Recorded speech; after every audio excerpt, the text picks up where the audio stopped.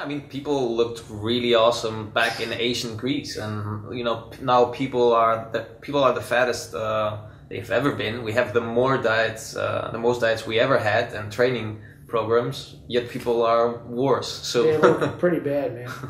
People don't even know how to feed themselves. Yeah, I think it was stated that 68% of the American population now is either overweight or Mm. obese. wow, Uh, I heard it's crazy. that the fattest country in Europe right now is Hungary. Uh huh. I've never been to Hungary, so I don't know.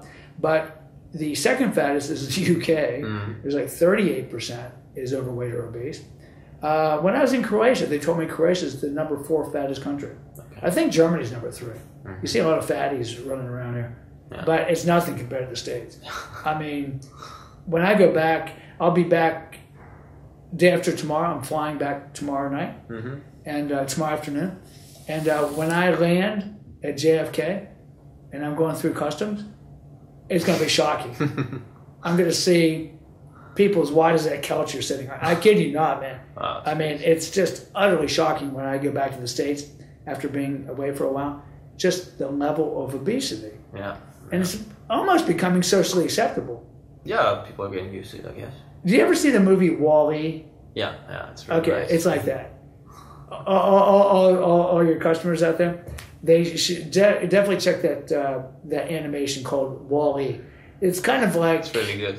almost like what the future may hold for humankind if we don't turn things around. And I do believe we can turn things around. And basically, I guess people, you know, call you skinny. You know, even if you're normal, you turn out to be the skinny one. You know, like why don't you eat more? Or Little and wiry, and yeah, do you also fast every day, like intermittently, or? yeah. Uh, I usually don't like to eat. I usually get up around six and don't eat till about eleven, sometimes twelve. Um, I, I I like to train fasted. I think that's a really good Yeah. way to. Uh, it's like a double stress. Mhm. You have the stress of the training, and you have the stress of the fasted. Mhm. So fasted training does. I think it's very good for uh, helping older guys uh, reconstitute uh, muscle tissue and keep fit. I think it becomes more important as you get older than when you're younger. Uh, if I was to set a, let's say for example, I was doing a performance-based workout where I really cared about my performance. Yeah. For sure, I would eat first, sometime, Yeah. something for my energy.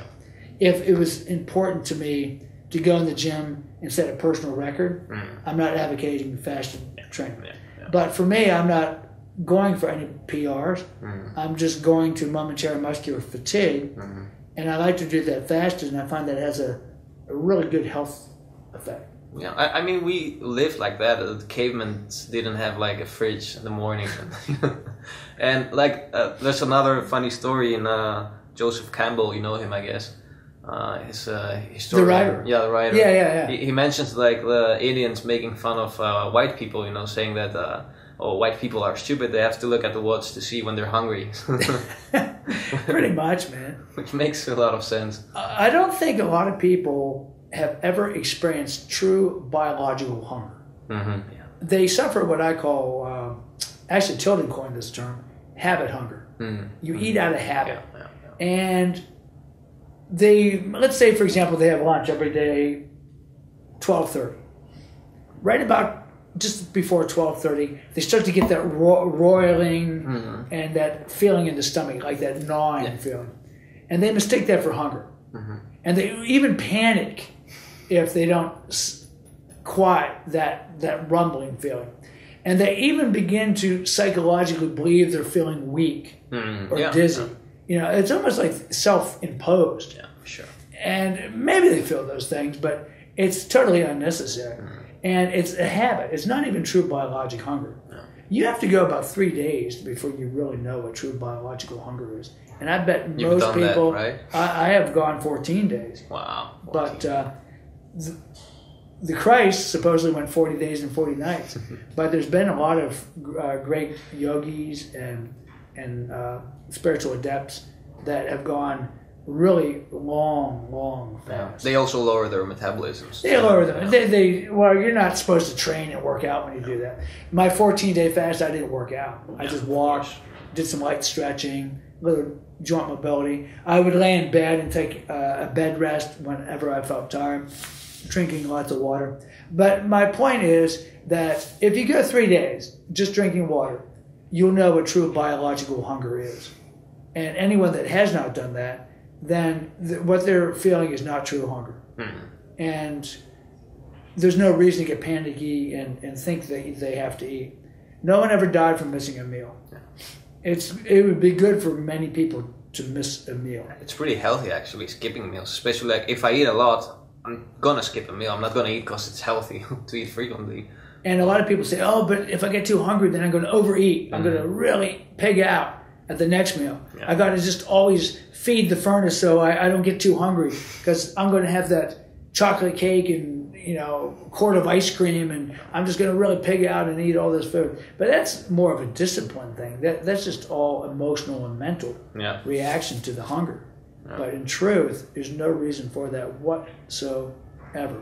And if people would just allow themselves to feel true hunger and experience what that is, they wouldn't be so prone to overeat all the time. Yeah, yeah.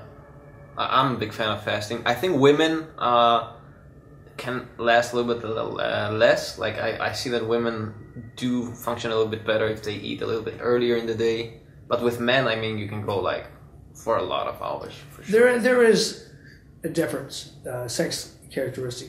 Mhm.